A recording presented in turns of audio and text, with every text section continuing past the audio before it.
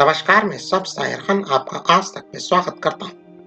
सोमवार को हमने आपको बताया था कि ज्योतिरादित्य सिंधिया संभवतः भारतीय जनता पार्टी ज्वाइन कर लेंगे। और 11 मार्च को ज्योतिरादित्य सिंधिया ने भारतीय जनता पार्टी ज्वाइन कर ली। भारतीय जनता पार्टी ज्वाइन करने के बाद मध्य प्रदेश में स्थितियाँ कुछ अलग हो चुकी है।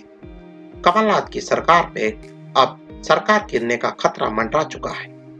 हमने इस विषय में हमारे गेस्ट और हमारे guest of honour Ameen Sayani ji से सवाल पूछा, अमीन जी, आपको क्या लगता है कि मध्य प्रदेश में सरकार गिर सकती है? या कोई चमत्कार हो सकता है जिससे कमलनाथ बच जाए?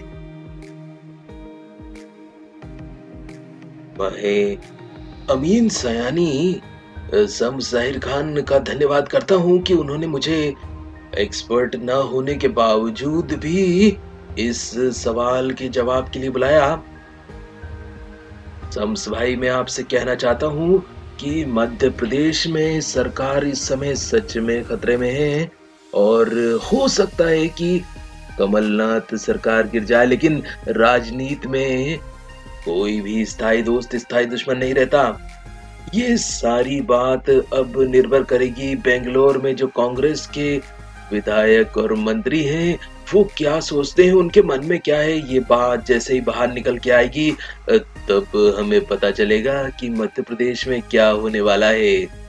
और सबसे बड़ी बात है कि जो पुराने कानून था, पुराना नियम था, उसके अनुसार विधायक छोड़ के दूसरी पार्टी में चले जाया करते थे और सरकारें गिर जाया करती थी, नई सरकारें बन जाया करती थी। आजकल वो नियम नहीं रहा है।